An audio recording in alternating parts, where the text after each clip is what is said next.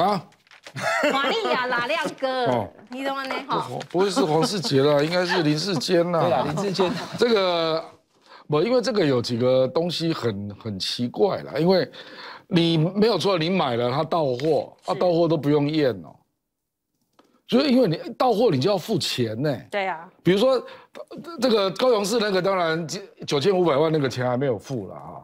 可是我们知道有两百多万剂流入市面嘛，那显然就是比如说消防队他的货到了，他就他就收了，他收了是就要付钱呐、哎，结果我们是卫福部只要公告 EUA 核准的 EUA，然后之后个别的货到各单位他就不管了、哎那各单位怎么有能力验货呢？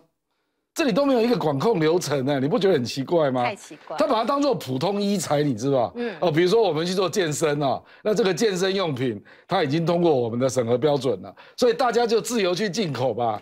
他把它当做普通可以贩售的商品，你知道吗？嗯，这个是 EUA，这个并不是我们所谓已经可以上市，然后可以在自由市场上自由贩售的东西耶。你看你疫苗，你竟然也是要抽检啊，没错对不对？EUA 的东西你怎么可以没有验货的流程？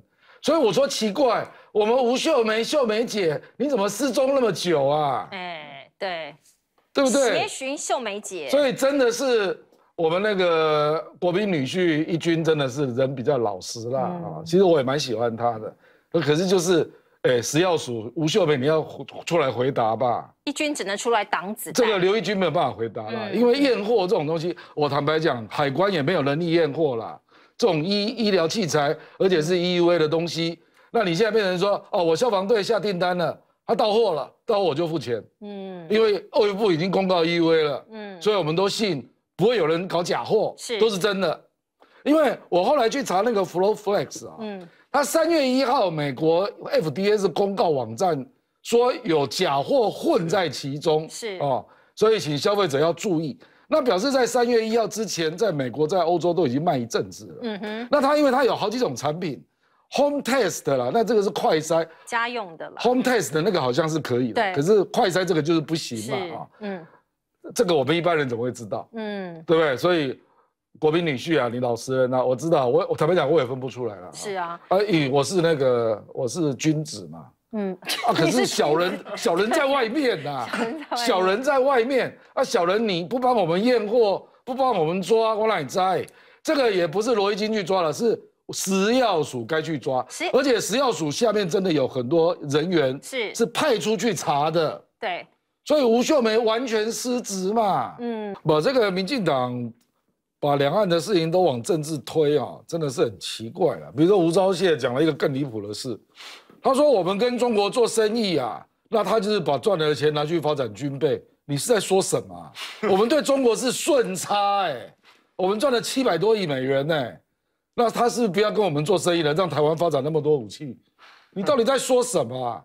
那如果说真的他要搞政治啊，要来搞两岸的贸易，来惩罚台湾，那他只针对石斑鱼，石斑鱼的总出口量只有五千多万美元呐、他随便针对 A 克法的制造业，每一项都超过这个金额，他为什么不这样搞？嗯，哦，拜托，就是这个要讲话哈，要凭一点事实根据嘛，对不对？那还而且他又扯到那个什么这个白带鱼啊，说那个包装有新冠病毒。嗯，你去看中国对所有国家是不是都这样做？据说中国对新冠病毒非常非常的严格，包括南美白虾、越南的火龙果输入中国大陆也曾经被验出是吗阳性。？因为那个包装或者运输过程感染，那不一定是台湾的责任啊。可是他照样进，因为他就是要清零嘛。所以，所以我说这个东西，你都已经当立委，当了外交部长，你起码根据事实说话嘛。嗯，哦，哎，为什么我们对 A 克法小英那个时候在二零一二年就已经讲，他如果当选就盖瓜承受，那后来他就真的承受了嘛，因为他发现有一些贸易还是对台湾有利的嘛，他没有必要去停止嘛。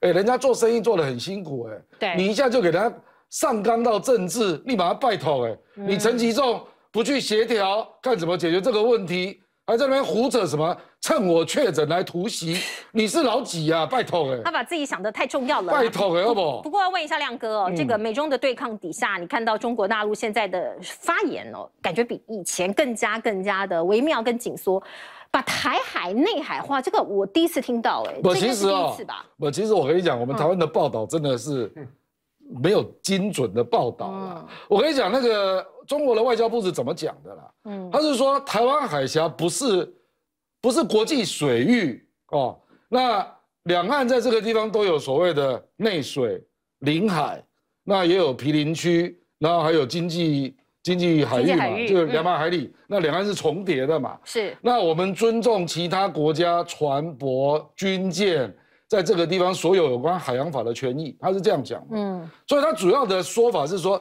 这个绝对不是美国所讲的国际水域了啊！美国说这是国际水域，他并没有说台湾海峡是中国内水啦，嗯或者是什么中国的什么领海，他没有这样讲，因为这样讲是绝对不可能成立的嘛。嗯我跟你讲，中华民国跟中华人民共和国都是有领海的，那接接下来就是有那个毗邻区，比如说金门、金门跟马祖，对，那个不知道怎么定啊，我不知道啊。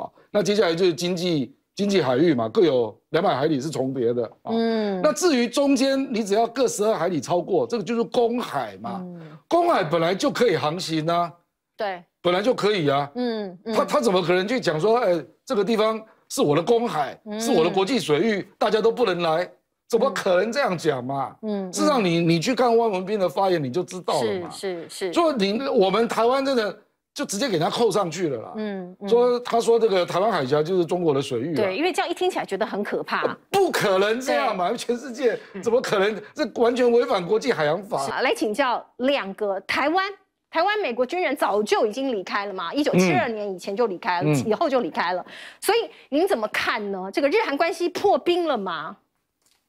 不容易啦，这个。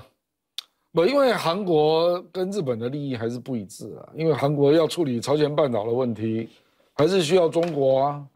日本不一样嘛，哦，所以韩国再怎么样，虽然这个尹锡悦已经算是对中国比较强硬表态啊，可是真的他如果开始处理北韩问题，他没有办法对中国太强硬的啦。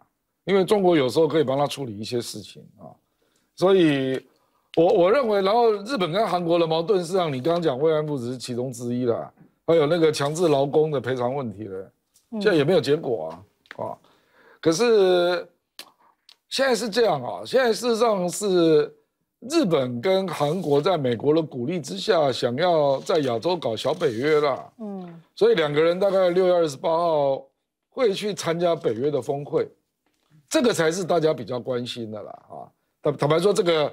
大概也是中国比较关心的啦，就是说，你真的要参加北约吗？你参加北约是什么意思？嗯，你要知道北约的假想敌就是俄罗斯，是，所以俄罗斯也在盯着日本看啊，所以俄罗斯最近对日本都很不客气啊，啊，你看他对那个北方四岛啦等等啊，都非常不客气啊，啊，那岸田文雄我不知道是为什么，他对俄罗斯也非常不客气啊，嗯，蛮强硬，哎，真的非常强硬，这个日本历届首相罕见的。对俄罗斯如此公开，而且他已经不只是半导体科技零组件做抵制啊，还进一步对有一些电机机械啦一些东西也进一步做抵制啊。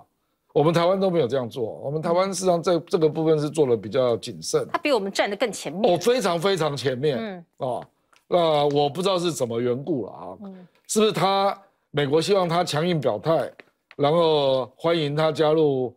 五眼加一联盟这样啊，那欢迎他变成北约的成员。嗯，可是他如果加入北约的话，我看俄罗斯会跟日本发生很严重的冲突。是是啊，我觉得韩国不至于啦，韩国真的是会比较谨慎。